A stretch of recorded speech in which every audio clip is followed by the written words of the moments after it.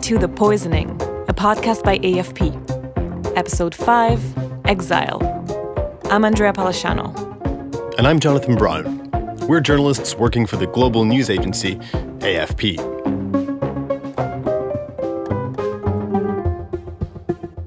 Me and my family, we didn't even have any plan and, and any intent or desire to leave Russia, and there was never even on the discussion uh, as early as the beginning of this year. All of the prominent opposition figures were arrested back then in late January, early February, and I understood that somebody has to stay free. This is Vladimir Milov. He's a well known Russian opposition activist. He's a key ally of Russia's most prominent opposition figure, Alexei Navalny who was poisoned and is serving time in jail.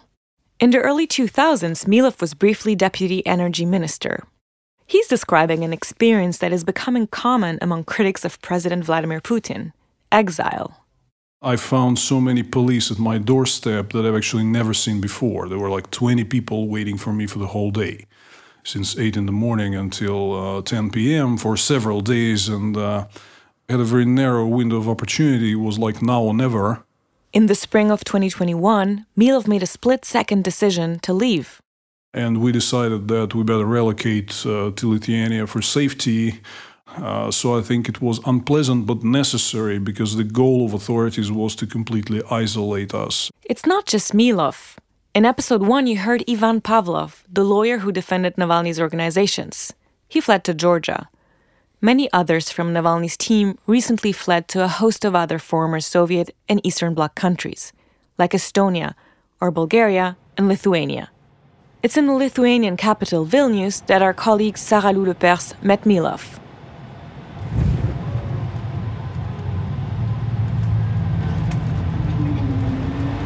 Ladies and gentlemen, welcome to Vilnius, our local time, 9 in the evening The outside temperature plus 22 degrees Celsius. And Sarah Lou asked Milov, why Vilnius? Because it's a convenient place for operations. I have to say that Vilnius is also extremely convenient because of very good infrastructure, like mobile internet is one of the best in the world here. And so it's, uh, in terms of concentration of uh, important opposition figures and political players, arguably it is the leading place uh, at the moment. Milov says that every day in exile, he's busy talking about Russia, both to Russians and to the world. Oh, yeah, basically, as we say, I live on Zoom. Uh, so I'm both uh, delivering a political message to Russians at home and also meeting a lot of people who are in absolutely different time zones, trying to update them uh, what's going on in Russia and uh, discuss a potential response to Putin's activity. Uh, there is a great time difference I also write a lot of uh, papers, uh, and uh, we're writing the scenarios for our videos and streams uh, on uh, Navalny Live and my own YouTube channel. So my typical day is uh, crazy. Milov and other Kremlin critics were fleeing a historic crackdown in Russia. After Navalny's arrest, it accelerated leading up to the elections for parliament in September 2021 and even continued after.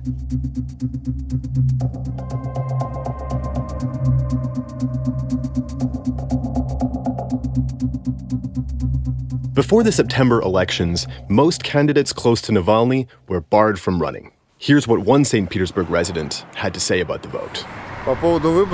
Basically, this isn't an election. People don't really have any choice.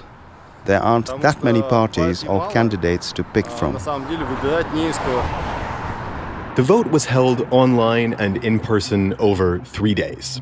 After the polls closed, videos flooded social media showing ballot stuffing controversy surrounded the online count.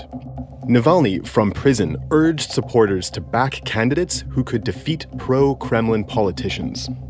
But the authorities fought back, demanding that Google and Apple block online lists of candidates he endorsed. Putin's party, which was deeply unpopular before the vote, won a landslide.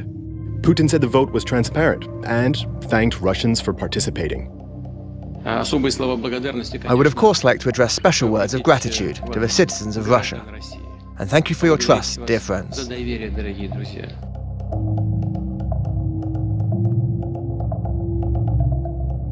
Largely, Putin feels that uh, he's been allowed to get away with most of the stuff that he had done. Here's Milov again from Navalny's team. It means that we might expect further escalations, further aggressive, unlawful acts, uh, which will be extremely disturbing uh, for the, the global community and destabilizing the world order if no serious containment uh, is taken on the part of Western democracies. One Western containment strategy has been sanctions against companies and sectors of the Russian economy, but also individuals. For election meddling, the war in Ukraine, for supporting the Syrian regime, and for the poisoning of Navalny. While the sanctions have had some effect, the Russian opposition thinks it's not enough. Vladimir Kara-Murza is an opposition politician who described poisoning symptoms in previous episodes. When Andrea met him in Moscow, he told her he had a specific proposal. The only thing we do actually want of our friends and partners in the West is to stop enabling the regime of Vladimir Putin, is to stop being complicit in the kleptocratic system that Vladimir Putin has built here in Russia by continuing to allow the cronies and the oligarchs and the key figures of the Putin regime to use Western countries, Western banks, Western financial institutions as havens for the money that they are looting here from the people of Russia. Because this is what's been happening for years. The people who are in Putin's close circle, the, the top high ranking officials and the oligarchs, the Kremlin wallets, as, as we call them, they've long made a habit of violating and undermining the most basic norms of democracy here in Russia, and then enjoying the fruits and benefits of democracy in the West, because it's in the West where they have their second homes, their bank accounts, where they spend their holidays, where they send their wives and their mistresses on shopping tours, and so on. They've made a habit of stealing in Russia and then coming to spend that stolen money in the West. And this is complicity. By allowing these people to do this, Western democracies are in effect enabling the continuing function of the Putin kleptocracy, and this needs to stop.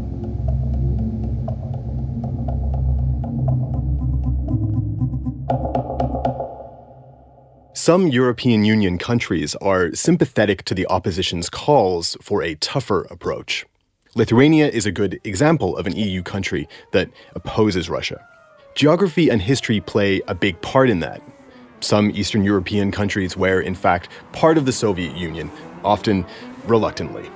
In Lithuania, for instance, which borders Russia and where Navalny's allies have found refuge, many people have painful memories of Moscow's rule. In Vilnius, Sarah Lou visited the former headquarters of the KGB, the Soviet Secret Services. The building is a museum now, where you can see cells in which Soviet dissidents were detained. What you're hearing now is the music school outside the former headquarters. In the 1960s, prisoners couldn't see the streets, but they could hear the music, just like us.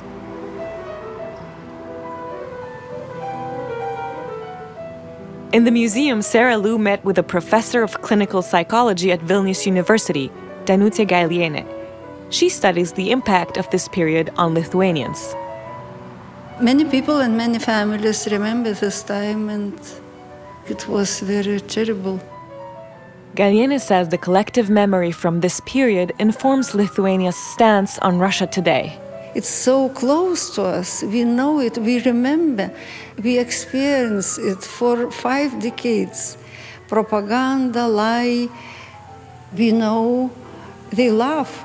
Dictators, aggressors, they laugh when you are too polite, too diplomatic, they are happy. They think you are weak and you are a little bit stupid, naive. But we experienced it. And so we think democratic countries have to be quite strong with it. With dictators, we have to be united and strong.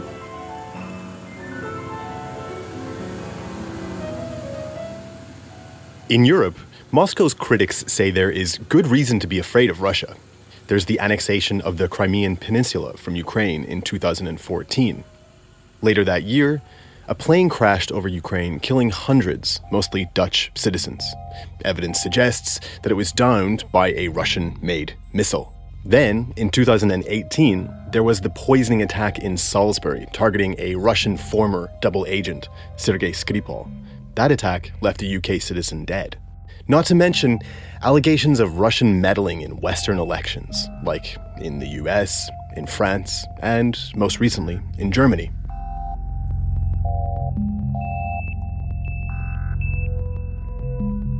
Russia says such accusations are unfounded. Pyotr Tolstoy is a senior figure from Vladimir Putin's United Russia Party.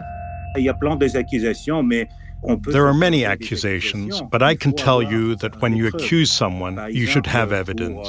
For example, in Mr. Navalny's case, we have never seen proof from the West, only accusations. It's the same with Skripal and Great Britain, so we can accuse one another for the next 20 or 40 years, but in my opinion, it's better to have evidence when accusing someone.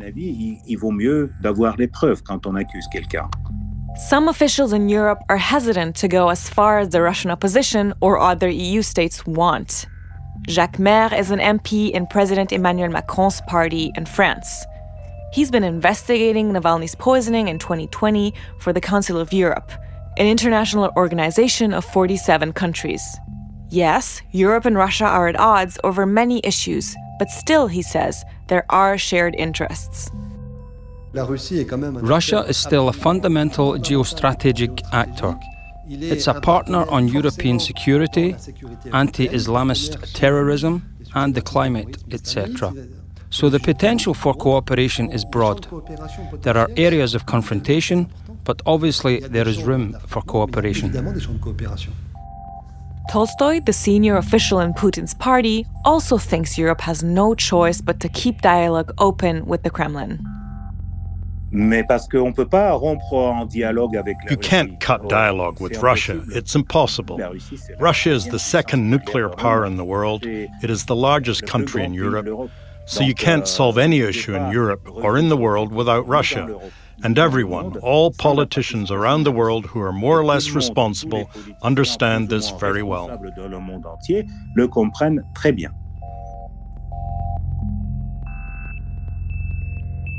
This stance was on display in August 2021, when Angela Merkel went to visit Moscow one last time as German Chancellor. The visit came shortly after the EU had failed to agree on holding a summit with Russia. In Moscow, Putin greeted Merkel with a bouquet of flowers. She did call for Navalny to be released, but she also called for continued dialogue with Russia. I once again called on the Russian president to release Alexei Navalny, and I also made it clear that we will continue to follow this case closely. Even if we have deep disagreements, we are talking to one another, and it should stay that way.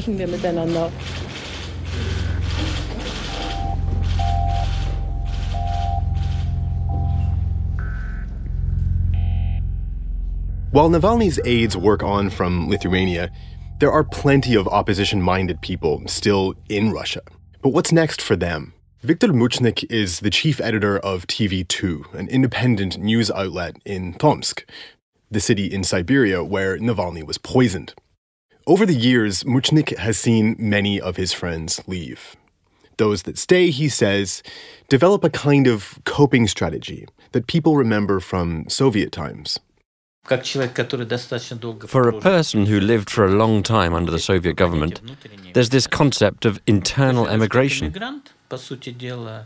You live as an immigrant. In, in fact, you understand that the existing government is alien to you.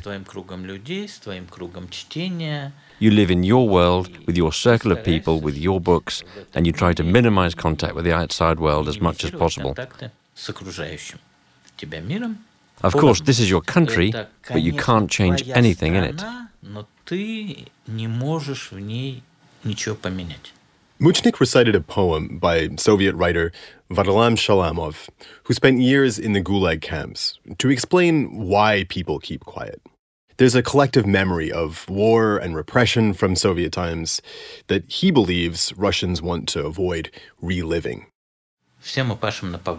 We plow in a graveyard, just tickling the topsoil afraid our blades may turn up bones of dead people. For Muchnik, the poem encapsulates recent Russian history. Russia went through terrifying losses during the 20th century.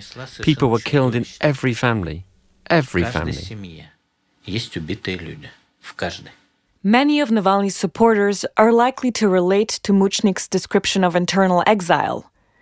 Is there anyone left in Russia willing to oppose the Kremlin?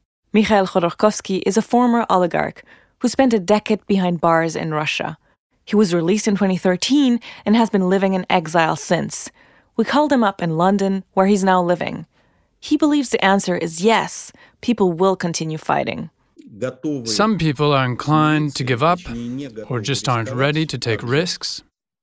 They'll distance themselves from politics or just leave the country. But there are always people for whom this is a calling and who are ready to take it up for one reason or another.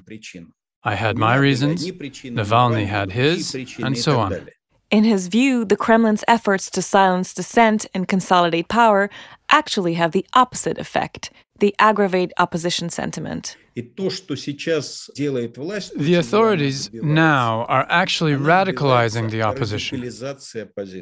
They've made it impossible to change the leadership via elections, since they've essentially nullified that process.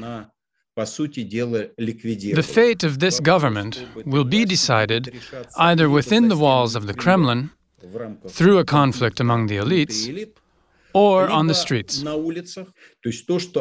What it's doing today is pushing Russia to the brink of a violent change of power.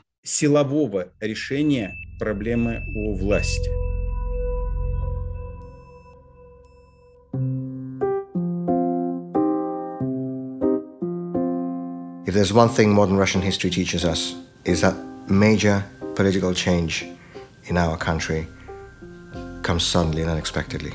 Here is Vladimir Kara-Murza. In 1905, Russia was engulfed in our first revolution, and the Tsar was forced to grant his subjects civic and political freedoms, and for the first time in our history, a parliament. At the end of January 1917, Lenin spoke to a group of Swiss social democrats in Zurich and ended with the famous phrase that my generation will not live to see the decisive battles of this coming revolution.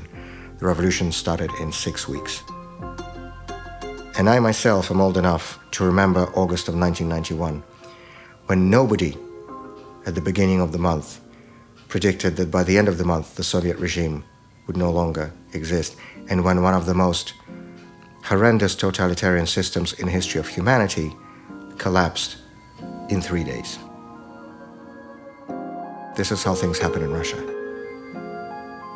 If there's no way for citizens to change the government through the ballot box, then change is going to come from the streets. And if these people who are in the Kremlin today think that they will somehow be the only ones in history to escape this logic, well, I'm afraid they're in for a little bit of a surprise.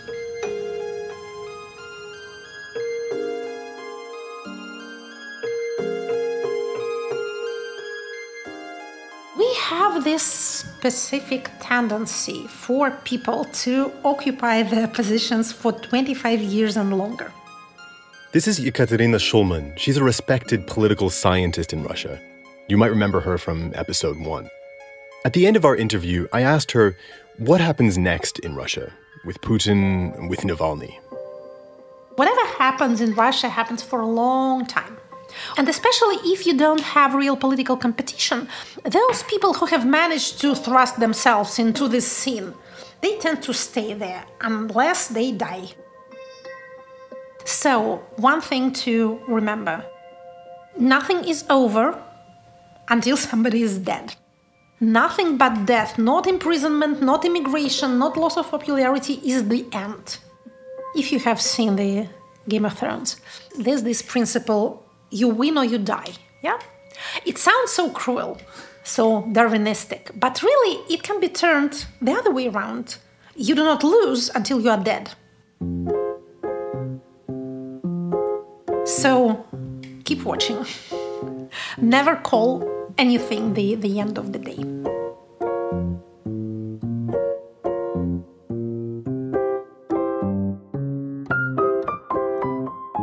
Thank you for listening to the final episode of The Poisoning, a podcast by AFP.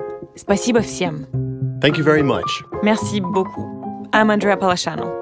And I'm Jonathan Brown From Moscow, we've been your hosts, and we worked with a team of colleagues in Paris. Antoine Boyer and Sarah Lou Lepers wrote this podcast with us. They also edited it and are the hosts of the French version, Le Poison de Poutine. Our editors were Michaela Cancela Kieffer and Karim Talbi in Paris, Michael Mainville and Antoine Lambroschini in Moscow. Vasily Koloskov helped with translations. The original music was composed by Clémence Rolliat and Nicolas Vert. Christophe Robert mixed the podcast, and the illustrations are by David Laurie. Thank you again for listening to The Poisoning. If you liked it, tell your friends and rate it wherever you're listening. For more from AFP, follow us on Twitter and Instagram. Пока! До свидания!